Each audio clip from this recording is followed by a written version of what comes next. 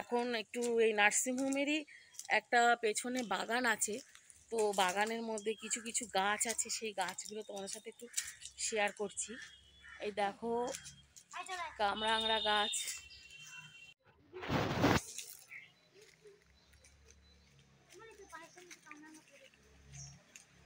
গাছে কামরাংরা হয়েছে। এগুলো হচ্ছে থাইল্যান্ডের মিষ্টি কামরাংরা অনেক মিষ্টি খেতে। দেখো। গাছ ভরে রয়েছে।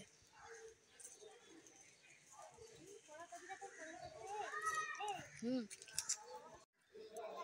এটা হচ্ছে তেজপাতা গাছ।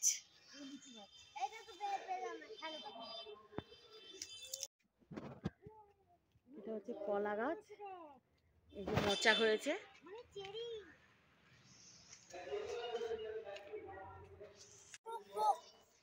এটা হয়েছে চেরি গাছ এটা। এই দেখো, গাছে চেরি হয়েছে। এগুলো এখনও পাকেনি, এই যে আমার বোন ছিঁড়ছে।